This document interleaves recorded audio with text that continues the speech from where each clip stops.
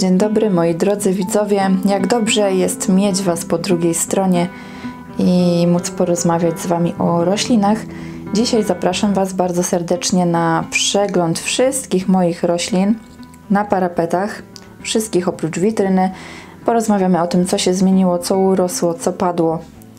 Jeżeli jesteście ciekawi takiej aktualizacji na koniec jesieni, to serdecznie Was zapraszam. Zaczynamy sobie od tej anginki tutaj. Postawiłam ją w drugi róg, żeby e, synek mi się tutaj do niej nie dobierał. Po drugiej stronie wchodzi na łóżko i sobie ją obskubuje. Także anginka ma się świetnie. Wczoraj zebrałam się i wyczyściłam wszystkie rośliny, podlałam dopiero wieczorem, jak dzieciaki zasnęły, więc jestem zadowolona, że zrobiłam troszkę porządków. Ta anginka rośnie po prostu jakby była wiosna. Teraz, moi drodzy, zbliżymy się tutaj do tego przepięknego storczyka Makodes petola. Przesadzaliśmy go razem do tej kopułki szklanej z Ikei.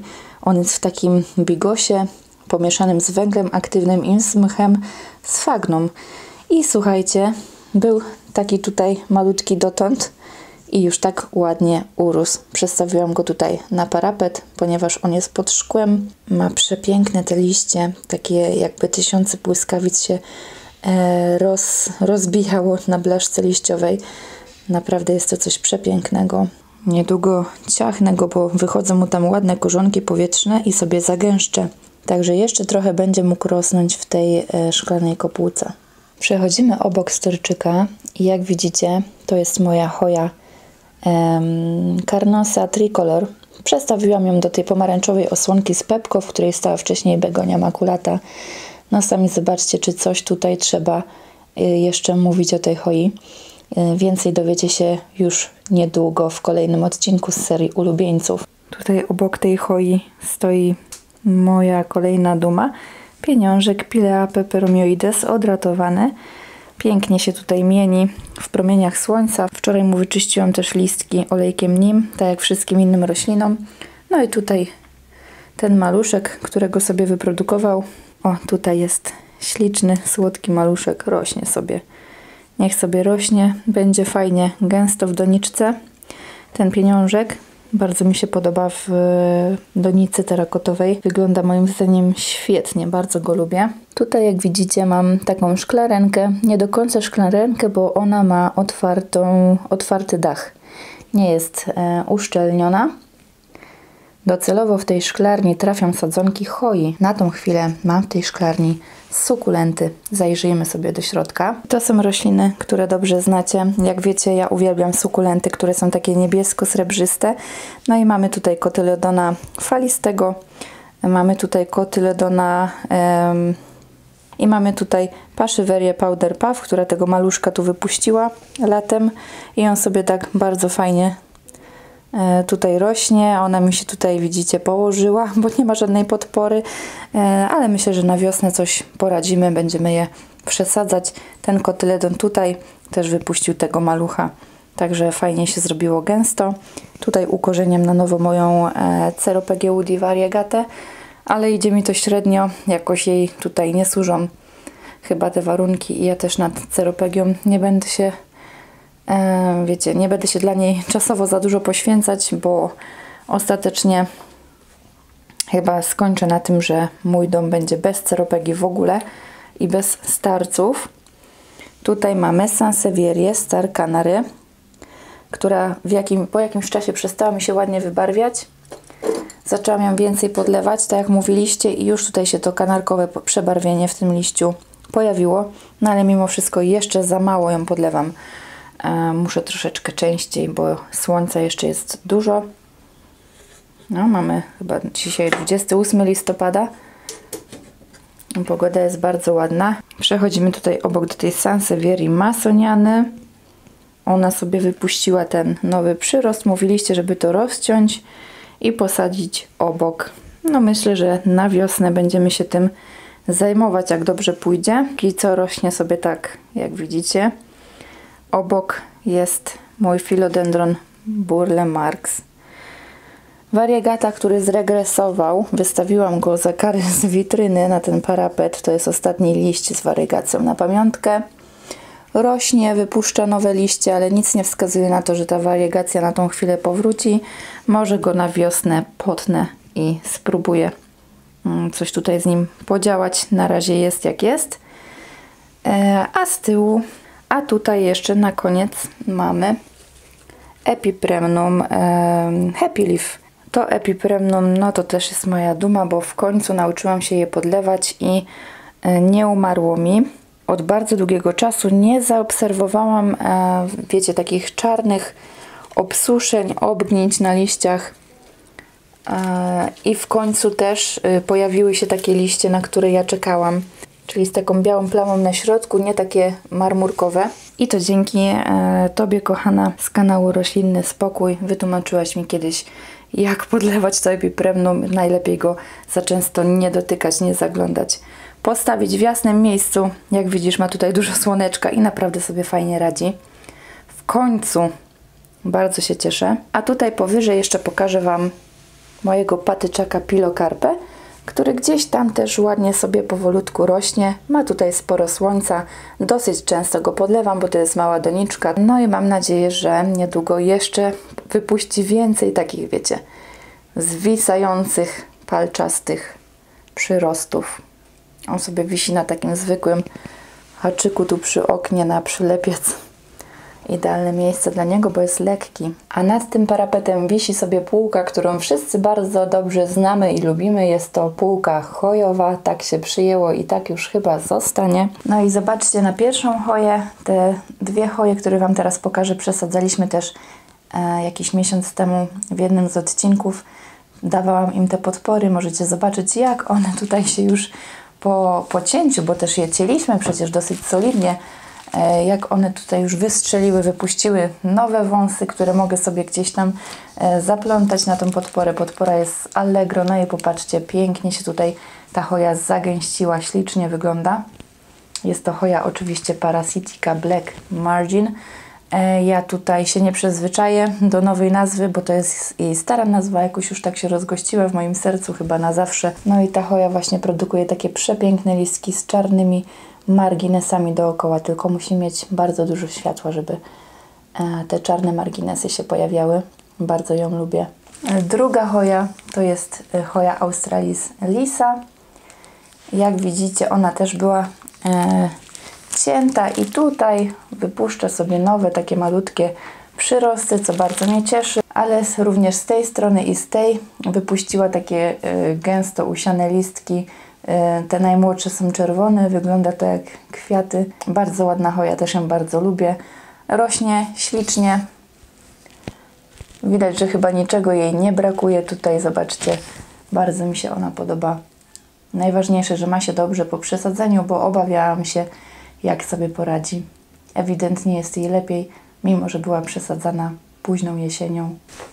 Choja polyneura wywędrowała do salonu, a w jej miejsce na środek tej półeczki trafił mój Philodendron scandens micans, który był zjedzony przez wciornastka, ucięty tutaj przy samym tyłku. E, jak widzicie, wypuścił już wszystkie te liście nowe. Właśnie tutaj przestawiłam go na tą półkę, żeby miał dużo światła, żeby mógł się zregenerować. No i ma się świetnie, bardzo się cieszę. Będę miała znowu gęstego, długiego Mikansa do przyszłego lata na pewno, bo on bardzo szybko rośnie.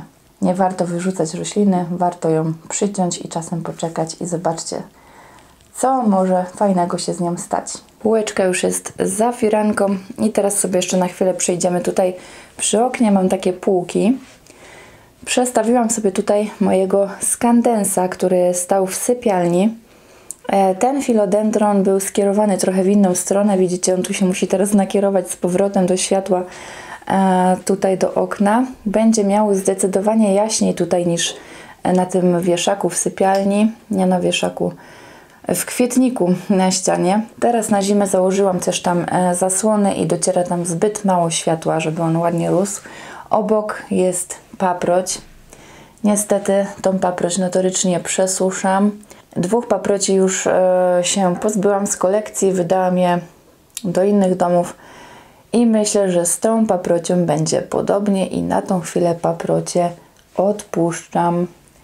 Z tego miejsca chcę pozdrowić króla paproci Damiana. Jeżeli Was interesuje uprawa tych roślin, to wspaniale to wyjaśnił e, w odcinku dedykowanym paprociom na swoim kanale Zielone Okno. Serdeczne pozdrowienia. A tu jeszcze u góry mam Epipremnum Global Green, które gdzieś tam te promienie ostatnie słoneczne jeszcze wyłapuje i jakoś sobie tam powoli ładnie rośnie. Także takie mam tutaj jeszcze trzy rośliny na tych półkach. Moją najulubieńszą jest ten skandens zielony. Przechodzimy sobie teraz do tego dużego zamiokulkasa zenzi. Jest przestawiony do sypialni. Otrzymuje tutaj dużo bardzo rozproszonego światła. Jako, że jest to roślina, która radzi sobie w troszkę ciemniejszych warunkach, no to wylądowała na tą chwilę tutaj, bo tutaj miałam dla niej idealne miejsce. Na razie nie wypuścił żadnego nowego liścia, ale bardzo ładnie się trzyma i bardzo ładnie ozdabia mi tutaj ten kącik. Tą roślinę bardzo również lubię. Ta roślina przypomina mi jakiś baobab, trochę taką afrykańską sawannę. Nie wiem dlaczego, może ze względu na te e, grube łodygi, które posiada. Na pewno ta roślina ma swój charakter i właśnie za to ją lubię. Tutaj to puste miejsce właśnie jest po tym filodendronie zielonym skandensie, który przed chwilą Wam pokazywałam. Nie wiem jeszcze, czy tutaj e, na okres zimowy jakąś roślinkę umieszczę. Na pewno trochę mi tutaj jest pusto. Może ten kwietnik przeniosę trochę niżej, żeby jakieś rośliny jednak mogły się w nim znajdować. Jakaś roślina. Tutaj poniżej mamy tą Sansevierię obytrianę Dragon. Jak widzicie, bardzo się zagęściła i bardzo ładnie rośnie. Jak tutaj wiszą te kwietniki, to ta kompozycja mi się bardzo podoba. Fajnie te rośliny tutaj wyglądają. Obok rośnie moja Maranta Fascinator Tricolor. Rośnie naprawdę przepięknie, momentami trochę wygląda jak lemon. Tutaj wypuszcza bardzo dużo młodych listków. No jest jej tutaj dobrze, ona cały czas rośnie w geominie, który traktuje 100% jak podłoże hydroponiczne. Pilnuje, żeby zawsze znajdowała się e, woda w środku z pożywką i jest naprawdę fantastycznie. Tam widzę tylko jakieś e, dwa liście z obeschnięciami, tamte liście są do wycięcia.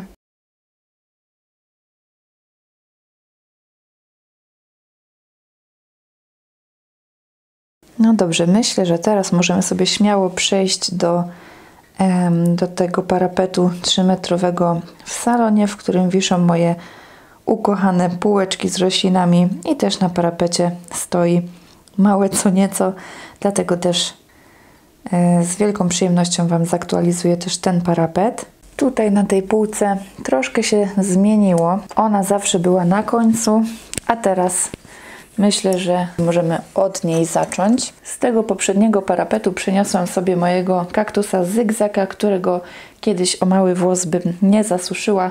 Jak widzicie, nauczyłam się go podlewać. Wypuszczę tutaj nowe przyrosty. Zobaczymy, jak będzie mu teraz w oknie zachodnim, a nie południowo-wschodnim.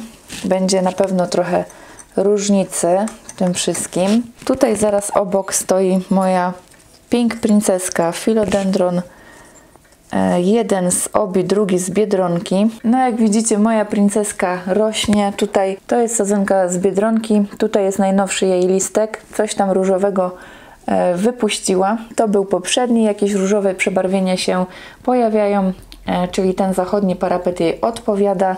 Tutaj jest sadzonka z obi. Kupiłam ją z tym oto liściem, bardzo ładnym. No i ona najnowszego listka wypuściła na tym parapecie właśnie takiego, z taką plamką, więc jest naprawdę nieźle. Muszę chyba jej jakąś podporę tutaj zafundować, bo troszeczkę ona mi się w tym w tej doniczce chybocze, ale zaczęła wypuszczać ładne listki z przebarwieniami, także Jestem zadowolona. Zostawię ją tutaj skierowaną do światła.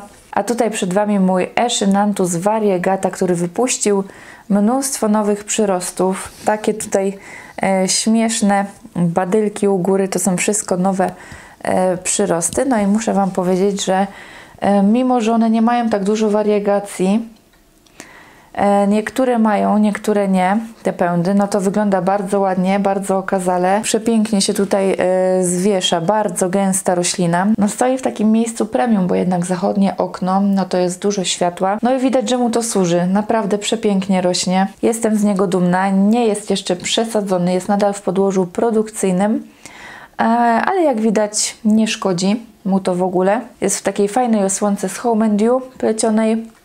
No i tak ta półeczka sobie tutaj wygląda. Jak widzicie, Echinanthus jest zwrócony ku światłu, tak jak reszta roślin. Ta półka naprawdę daje wiele możliwości. E, podobnie jak te półeczki tutaj. To jest też moje ulubione trio. Troszkę mam obraz prześwietlony. Dobra, trochę lepiej. Tutaj w tej donicy widzicie mm, po lewej stronie rośnie niezmiennie mój neon.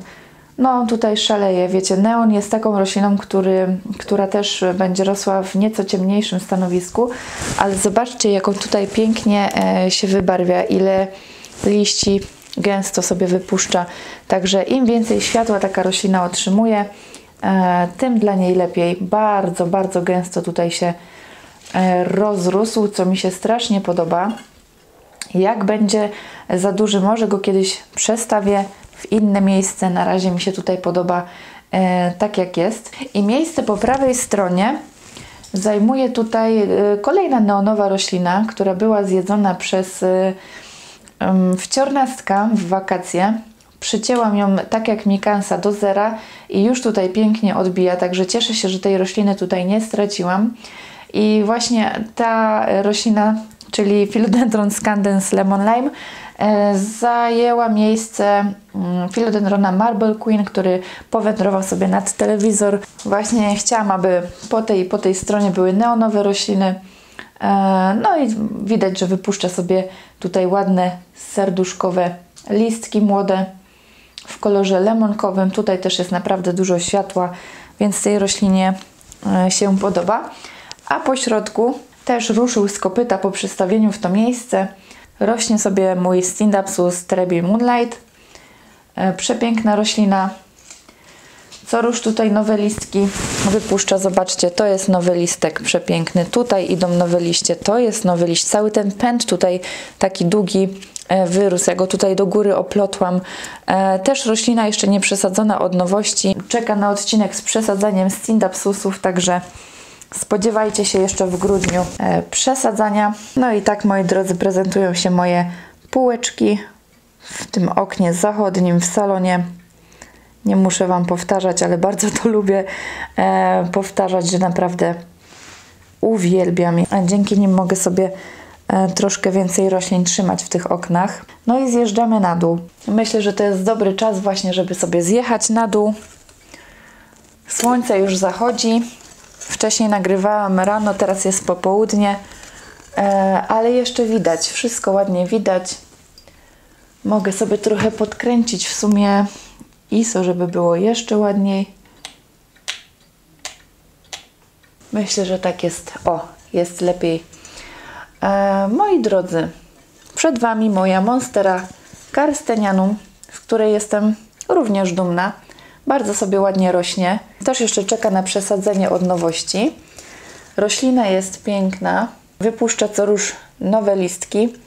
Gdyby miała podporę, zapewne te liście byłyby jeszcze większe. Tutaj też jest nowy listek, ale na razie musi sobie radzić w tym miejscu.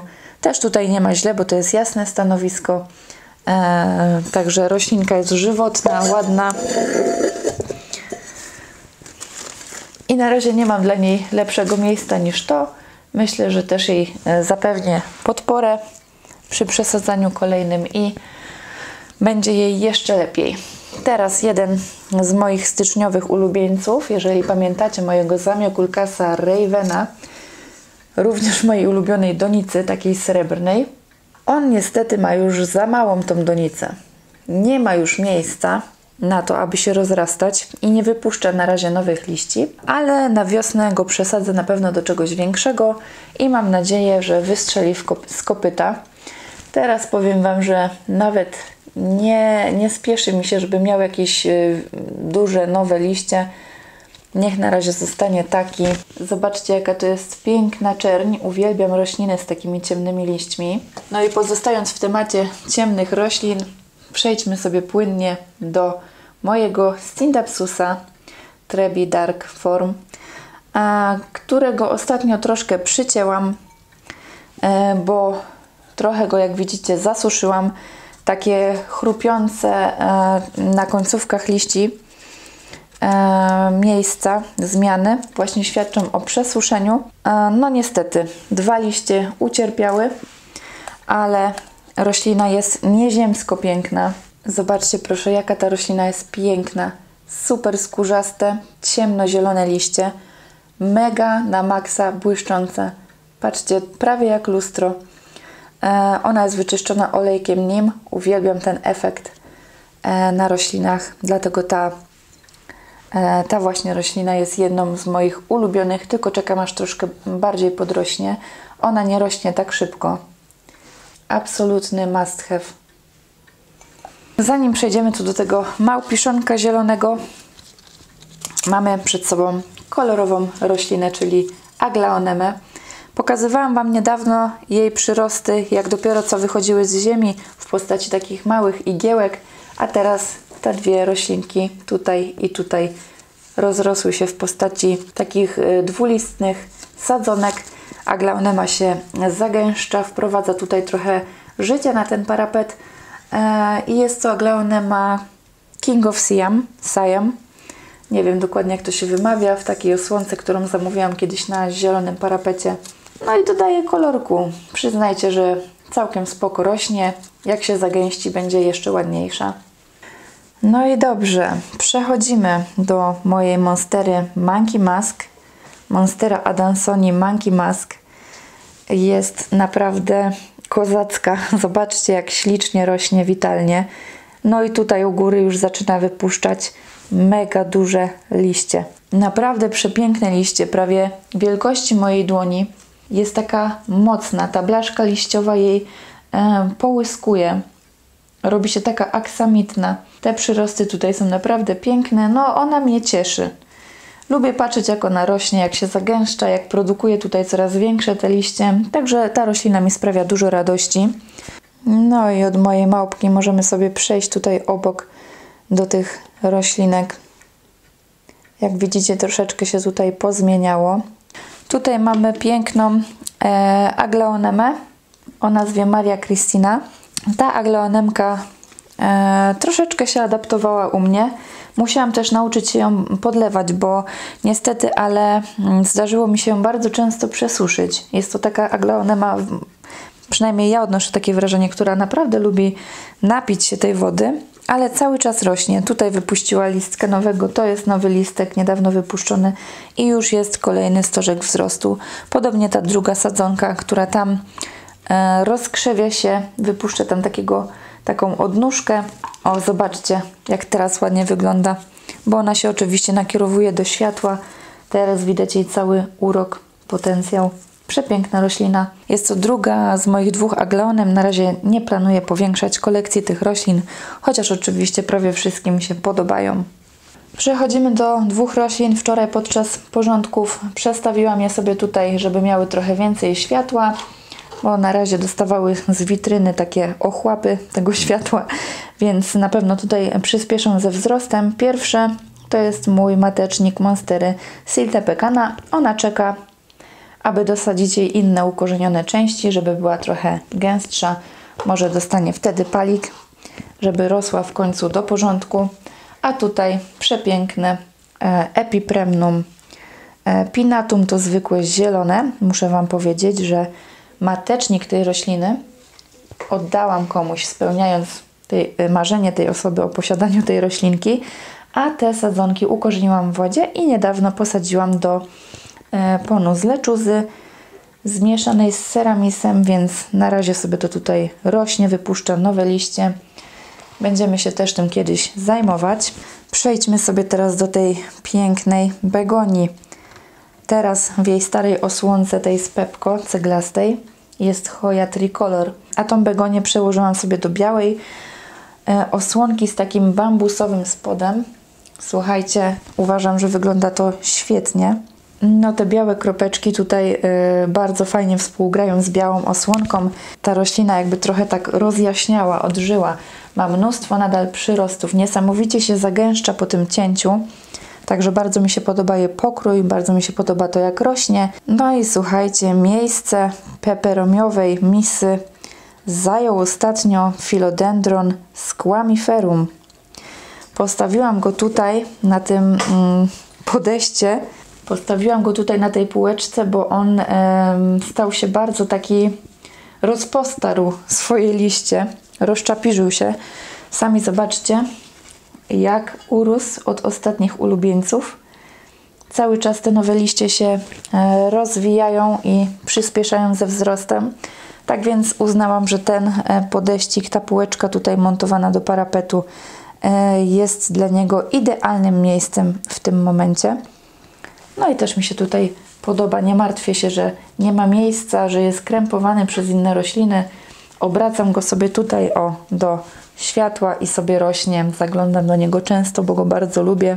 A tam poniżej, jak widzicie, jeżeli oglądaliście ostatni odcinek z serii się dzieje na stole, to sadziliśmy właśnie do tej misy peperomie. Z miłą chęcią zaktualizuję Wam, jak one się mają. Peperomia abrikos przyjęła się najlepiej, jest przepiękna, taka podświetlana na różowo. Była to największa sadzonka. Tutaj obok ta jesienna, te jesienne kolory wypuszcza nowe liście, mimo że parę straciła, ale już się zakorzeniła, ładnie rośnie. Jedna tutaj peperomia e, z tych mniejszych też się trzyma. Wiecie, ta donica nie ma odpływu, podlewam to tyle o ile, aby podłoże było lekko wilgotne pomiędzy podlewaniami przesycha, no i nic się nie dzieje e, złego z tym podłożem. Tutaj malutka burbella, zostały dwa listki, no a tamta, która mi zgniła e, wcześniej jednak się nie przyjęła, ja też kilka razy, wiecie, mm, przesuszyłam, tutaj nie podlewałam codziennie, więc e, nie dziwię się, że roślina więc nie dziwię się, że roślina nie dała rady się ukorzenić. No jak widzicie, mam tutaj dwa miejsca, aby jeszcze coś na przykład na wiosnę dokupić i dosadzić. To naprawdę fajna oszczędność miejsca, bo e, tutaj mi się mieści ta misa pod półką, nie zajmuje dużo miejsca. No i tak się prezentuje ten mój parapet. Myślę, że całkiem solidnie Wam go zaktualizowałam. Jak możecie zobaczyć, tam jeszcze jest 60 cm parapetu, e, który został, który jest cały czas e, wolny, ponieważ my lubimy otwierać okno, mieć dostęp bezproblemowy do świeżego powietrza. Jest to taka umowa między nami respektowana, żeby nie zagracać tam, gdzie się otwiera te okna. No i jako, że jest to wielki przegląd roślinny na zakończenie jesieni, to przenieśmy się teraz na alokazjową półkę. No i jesteśmy, moi drodzy. Jak widzicie, świecą nadal te same lampy z Zida, które ostatnio Wam pokazywałam w filmie o doświetlaniu roślin. No i czy coś się tutaj zmieniło na tej półce? Zaraz obejrzymy. Troszeczkę na pewno się zrobiło gęściej, ponieważ faktycznie e, kilka roślin wypuściło nowe liście. Zaraz Wam je pokażę z bliska. Zacznijmy sobie tutaj od tej peperomi, która bardzo ładnie sobie rośnie. Nadal wypuszcza nowe listki, ciągnie się tam na dół.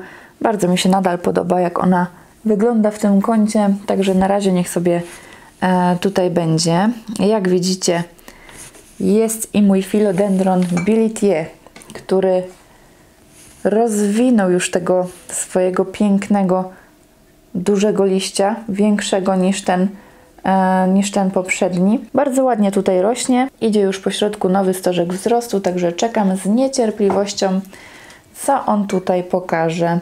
Mam plan, żeby go troszkę e, związać, żeby był taki bardziej o zwarty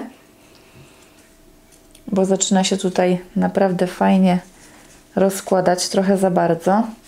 Tutaj jest alokazja Melos Centrum Ogrodniczego Silesia. Mówiłam Wam, że ona tutaj pod tą lampą przepięknie wygląda. Zobaczcie, jaka jest ozdobna. No naprawdę, jak nieprawdziwa. Piękna alokazja. Mam nadzieję, że będzie u mnie ładnie rosła po przeniesieniu do hydroponiki. To, co Wam teraz chcę pokazać, to ten wypucowany, wynimowany wyczyszczony olejkiem nim liść alokazji Dragon Scale, jaki jest przepiękny, błyszczący, skórzasty. Niestety roślina go tutaj mi będzie odrzucała, bo e, raz przesuszyłam tą alokazję, a jest to niedopuszczalne, żeby przesadzić, e, żeby przesuszyć alokazję, zwłaszcza jeżeli ta alokazja wypuszcza nowego, przepięknego liścia. Ten liść jest wypuszczany, jest mięciutki, rośnie jeszcze. E, jest wypuszczany 100% pod, pod tą lampą tutaj, którą Wam polecałam.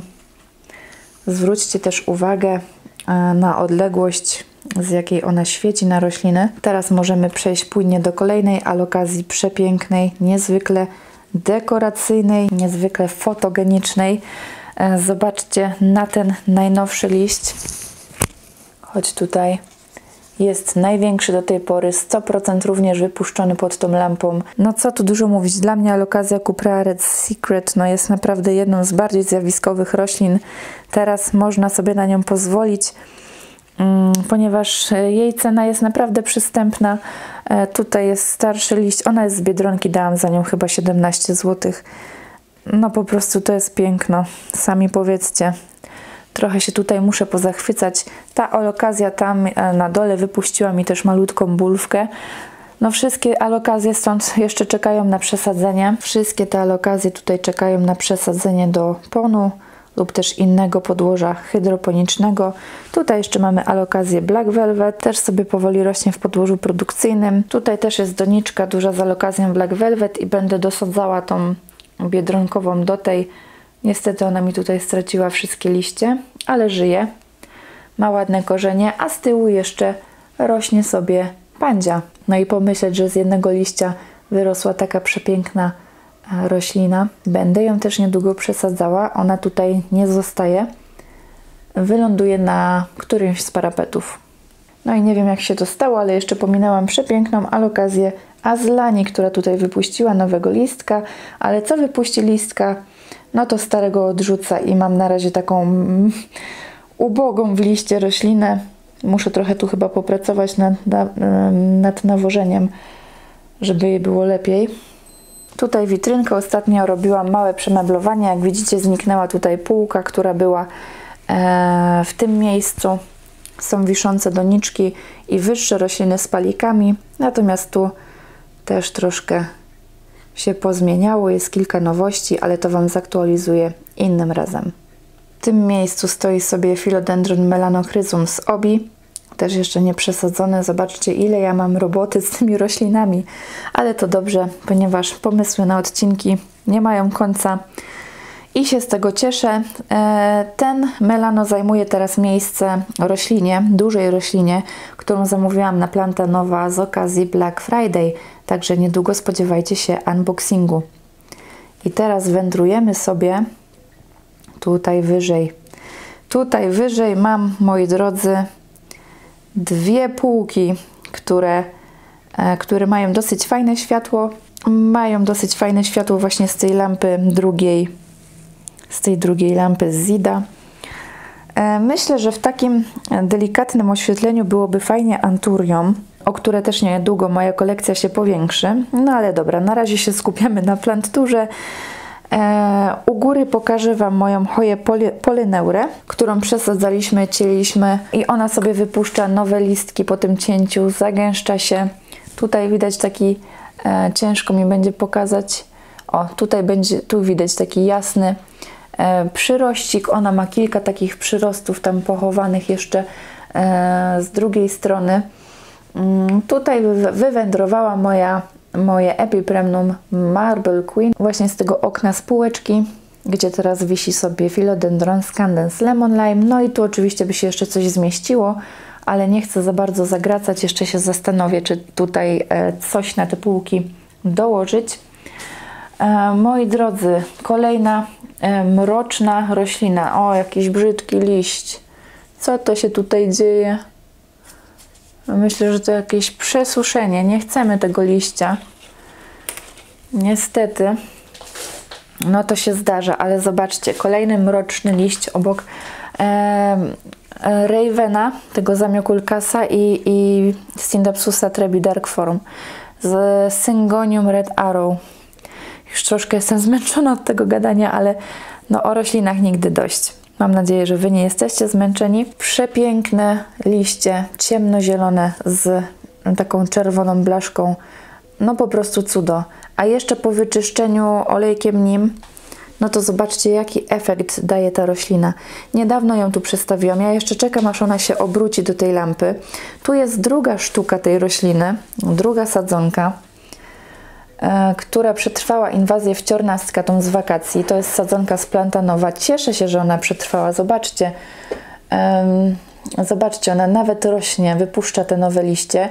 I plan jest taki, że oczywiście tą sadzonkę dosadzę e, do tej schopa. Także będzie gęściej i będzie ładniej. Tutaj między nimi e, wylądował sobie mój Philodendron Brazil, też zżarty przez wciornastka. Wow, niespodzianka. Też był ucięty przy tyłku, tak jak Mikans i tak jak ten Scandens Lemon Lime. Zobaczcie, jak pięknie się odrodził, jak Feniks z, z popiołów. I ja tą roślinkę również mam zamiar przesadzić, połączyć razem z lemonem i postawić tam na półeczce w oknie. Myślę, że zdobędę wtedy tutaj trochę więcej miejsca. Na pewno zostanie tutaj to moje ukochane ciemne syngonium, a reszta tych doniczek po prostu stąd zniknie, a tymczasowo jeszcze z tego światła korzysta totalnie wycięta w pień przeze mnie Maranta Silverband. Przepiękna Maranta. Maranty też lubię, wiecie o tym. W sumie ja większość roślin lubię. E, no i ta marantka sobie tak tutaj spokojnie rośnie. Po przycięciu wypuściła nowego liścia też pod tą lampą. Zobaczcie, jak jest daleko.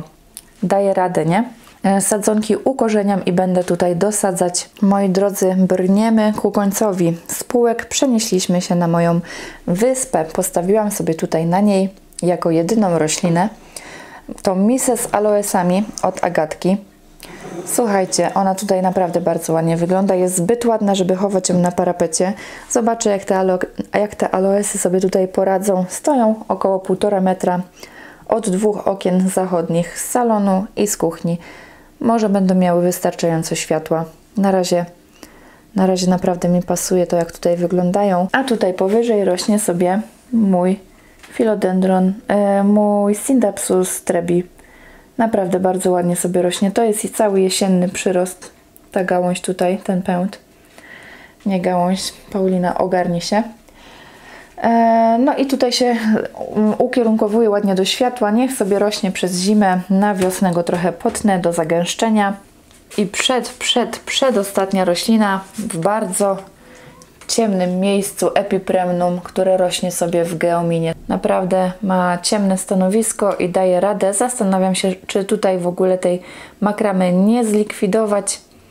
No, na razie jest jak jest. Jest symetrycznie z tym e, z Cindapsusem nad wyspą. Także przez zimę niech tu jeszcze troszkę pozazielenia ten kąt i zobaczymy, co będzie dalej. No i mamy trzy ostatnie rośliny w oknie kuchennym i moi drodzy jest to piękna Diefenbachia reflektor, jedyna jaką mam i jedyna jaką będę miała. E, na razie tutaj się ma dobrze, choć już przyhamowała ze wzrostem tego najnowszego liścia. Nie ma żadnego nowego stożka wzrostu, także e, ona chyba już będzie się tutaj na zimę jakby wycofywała. Będzie czekała do wiosny ze wzrostem. Jestem bardzo ciekawa, jak sobie poradzi przez tą zimę. Nie wiem.